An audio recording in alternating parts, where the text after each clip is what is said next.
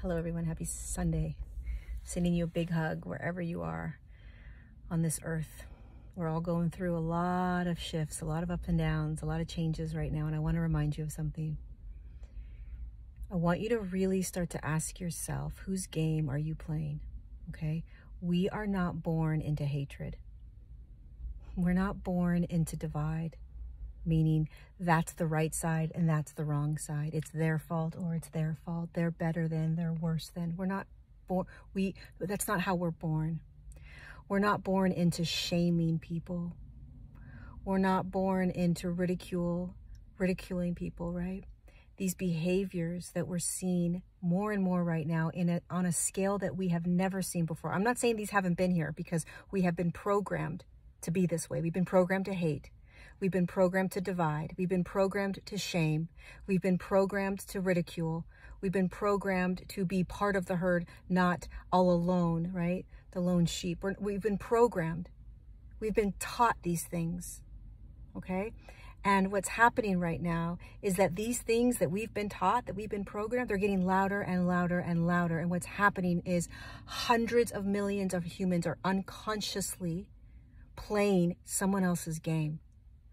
You're finding yourselves no longer seeing family or friends because of a narrative, right? You are blaming other people for something because of a narrative that you're being told, right?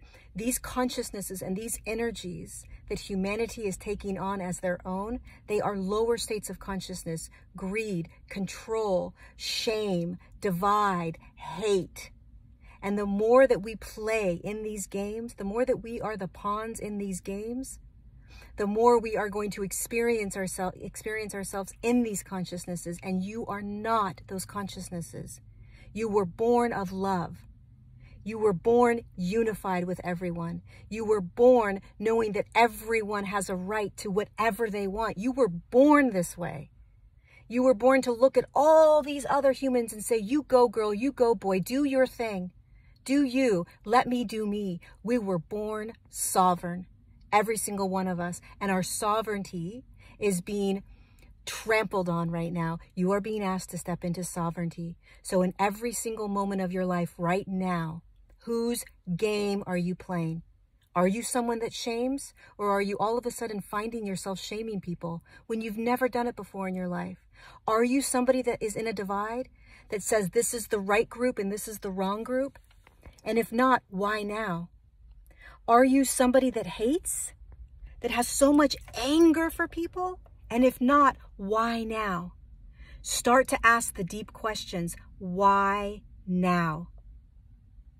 And when you find yourself playing someone else's game, feeling consciousnesses that you don't typically feel, having behaviors that aren't necessarily yours, this is how programming works. It's slow it creeps into you. And before you know it, you become somebody that you never thought you could become. So start to get acutely aware, acutely aware of your choice because it is a choice to hate.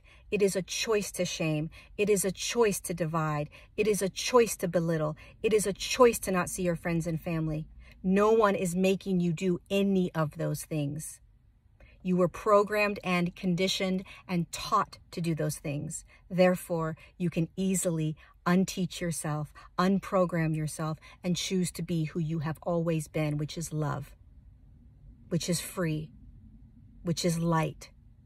And the more that you can courageously navigate every single thing that's happening right now from your light, from your truth, from your sovereignty, from your place of freedom, without playing in the narrative that's being given to us.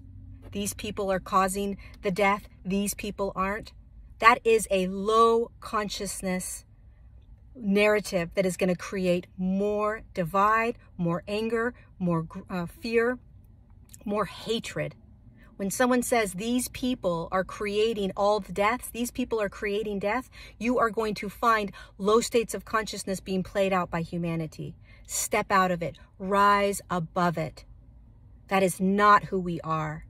and the rate the way that the human evolution evolves the way that your consciousness evolves the way that my consciousness evolves is that we see this nonsense and we choose. We choose how to be in it. We no longer stay programmed in how or in someone else's game. How do you want to be? Be more love be more compassion be more empathy be more light be more choice, be more freedom, be your truth, be you, and let others do the same. Have compassion and empathy and love for every single human that's navigating this, stuck in the programming, stuck in the narratives, playing out somebody else's game.